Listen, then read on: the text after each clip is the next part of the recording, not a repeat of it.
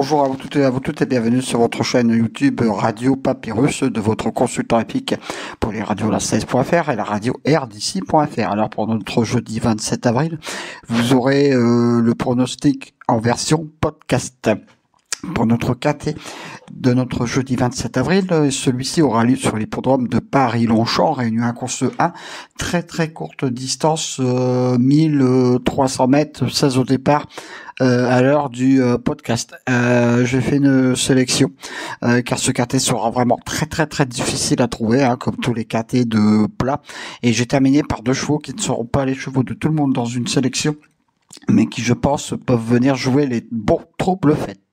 Alors c'est parti, j'ai bien sûr passé en tête de ma sélection le 3 Alpha Alpha, qui sera mon cheval du jour, très régulier, c'est un solide point de pluie pour vos jeux à retenir très très haut. Je lui oppose un sacré client, le 11 Monopia. Attention à lui, tous les feux sont ouverts pour une très très belle performance de choix, parce qu'il prend vraiment de très très très bonnes places en ce moment.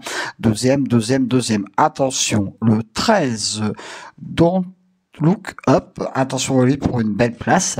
Bon, très très très joli coup de cœur sera le 6, Kimi Oreda, attention à lui pour venir prendre également une très très très belle place.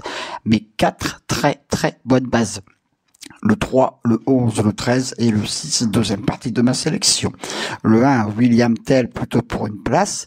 Le 5, Michael Angelo, bon double fait pour venir prendre une place avec une très très très belle cote.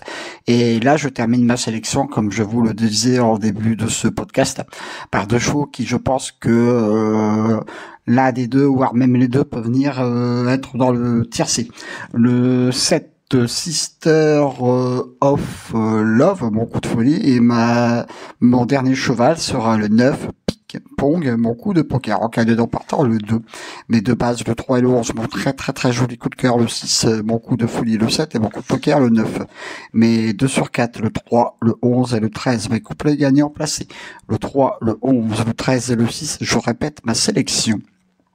Le 3, le 11, le 13, le 6, le 1, le 5, le 7 et le 9. Et je retrouve ce pronostic sur la radio, la 16.fr, sur la radio rdc.fr. Merci pour tous les commentaires que je reçois sur ma chaîne YouTube, bien sûr.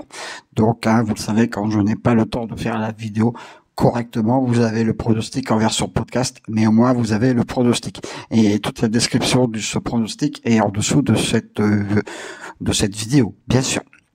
Je vous dis euh, à demain pour de nouvelles aventures avec le squal, l'ansois, le pharaon des courses.